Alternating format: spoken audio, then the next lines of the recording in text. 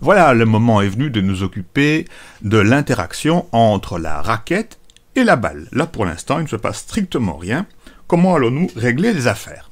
Alors, c'est un peu plus compliqué ici, et peut-être un petit détour par le cours de mathématiques va nous aider. Je voudrais attirer votre attention sur les directions que l'on voit annoncées ici. Vous voyez la balle qui change constamment de direction. Alors comme je l'ai mise à 45 degrés pour commencer, je vais un petit peu diminuer sa vitesse peut-être pour qu'on ait le temps de voir des choses. Donc avancer de deux pas, voilà. Donc maintenant, nous avons le temps de regarder la direction. Actuellement, la balle est à direction 45 degrés. Elle est passée à moins 45, moins 135, et lorsqu'elle arrivera en bas, elle va rebondir en direction de moins 45, et puis re plus 45. Bien, voyons voir cela maintenant de manière plus détaillée, le petit détour par le cours de mathématiques. Bien, sur l'écran que vous voyez là, j'ai représenté un cercle avec euh, différentes directions, les directions qui sont maintenant classiques que vous connaissez dans Scratch.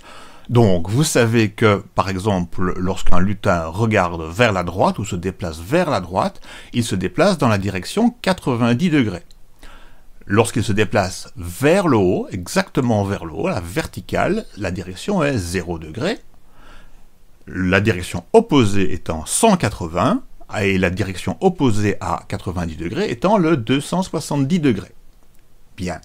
Mais ces graduations pourraient encore être faites autrement. C'est-à-dire que 270 degrés, c'est aussi moins 90. Et cet angle ici, la direction qui est donnée là, pourrait être donné comme étant moins 45, ou vous pouvez le compter dans l'autre sens, 270 plus 45, ça pourrait être 315 degrés. Il se fait que Scratch aime bien les nombres négatifs, donc on va souvent travailler avec les moins 90, moins 45, etc. Où veux-je en venir avec tout cela? Eh bien, avec une balle qui rebondit. Voici une balle, dans tous les cas, voici la direction de mouvement de la balle.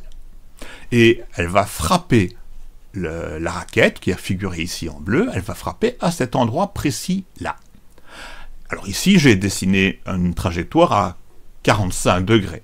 Et donc, quelle est la direction que suit la balle Si l'angle ici entre le 0 et la direction de la balle est 45 degrés, la direction vers laquelle la balle s'enfuit est bien la direction 135 degrés. C'est-à-dire, on a ici déjà un angle droit, 90, plus 45, 135 degrés.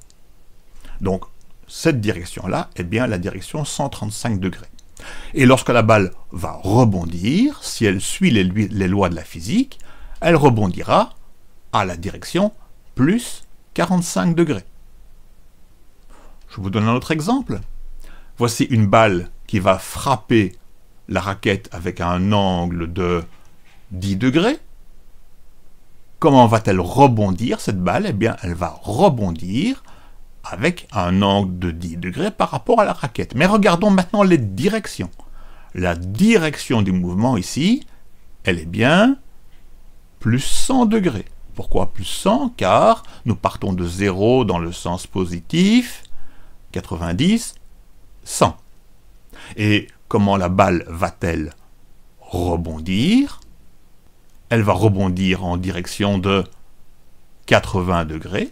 Nous avons ici un angle de 10 degrés, plus ici un angle de 80, donc la balle rebondit en direction 80 degrés. Sommes-nous d'accord avec ces valeurs-là à nouveau? Petite synthèse. Rappel du cours de maths avec les angles supplémentaires. Les angles supplémentaires sont des angles dont la somme vaut 180 degrés.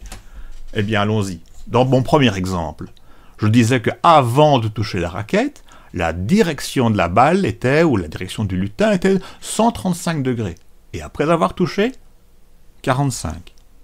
Dans mon deuxième exemple, avant de toucher la raquette, la direction était 100 degrés. Après avoir touché la raquette, la direction devient 80 degrés. Eh bien, vous voyez que 135 plus 45, ou 100 plus 80, Dans les deux cas, la somme des deux directions, des angles de direction, direction avant, direction après, fait 180 degrés. Nous sommes bien dans le cas des angles supplémentaires. Ça marche avec d'autres exemples si vous le voulez. Vous pourriez multiplier les exemples, mais je pense que ceci est assez clair. Donc, si je veux déterminer la direction de la balle après avoir touché la raquette, il me faut faire un petit calcul. Je dois enlever la direction avant de la valeur 180. Donc, la direction après, c'est 180 moins 100 égale 80. Ici, la direction après, 135 avant 180 moins 135 égale 45, la direction après 45. Donc nous avons ici une formule, la direction après, égale 180 moins direction avant, que nous allons pouvoir utiliser constamment. Retournons au jeu. Voilà, nous en sommes à notre raquette donc, et il va falloir maintenant gérer, je vais zoomer arrière pour que nous revoyons correctement les choses. Alors, la raquette doit réagir à la balle, ou la balle doit réagir à la raquette. Comment? Rien de très compliqué. Rien de très compliqué, puisque nous savons maintenant faire. Alors, euh, nous avons dit que la balle avançait de, mettons, 10 pas. Je vais revenir au, 10, et si le bord est atteint, elle rebondit. Par contre, nous n'avons encore rien prévu à propos de la raquette. Eh bien, ajoutons le traitement de la raquette par ailleurs. Donc, à nouveau, je prends dans les événements, quand le drapeau vert est cliqué, nous allons traiter constamment, constamment, constamment ce qui se passe lorsqu'il y a contact avec la raquette. Donc je prends un répété indéfiniment.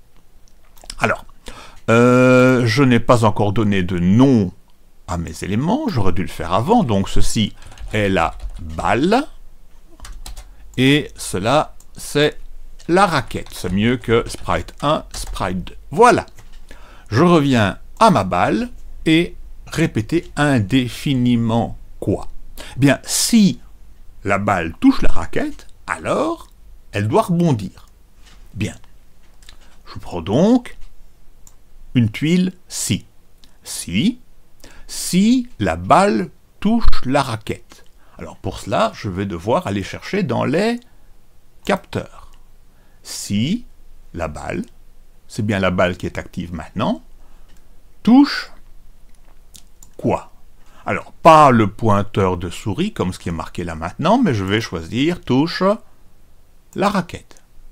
Si la balle touche la raquette, alors, il va se passer quelque chose. Eh bien, il faut changer la direction de la balle. Mais nous savons faire cela maintenant. Nous savons dans quelle direction il faut orienter la direction de la balle. Dans quelle direction il faut que la balle aille.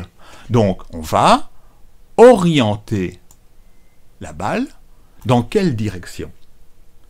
Au moment où elle touche, la direction doit changer. Donc, il faut que le lutin, la balle, s'oriente à, vous vous souvenez de la formule?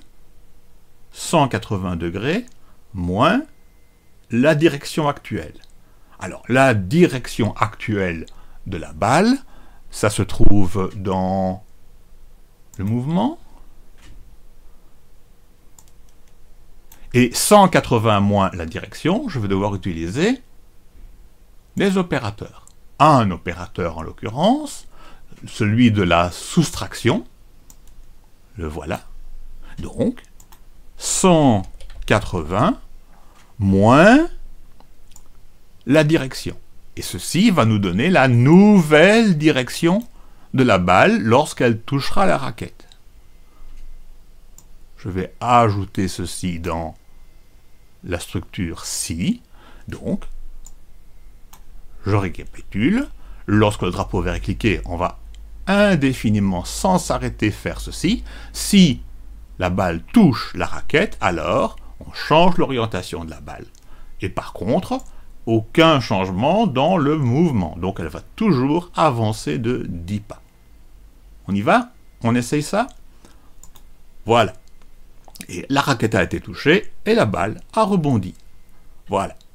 Nous avons donc un parfait traitement, a priori, de la raquette.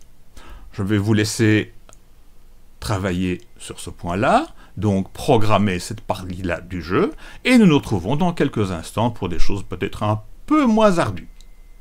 À bientôt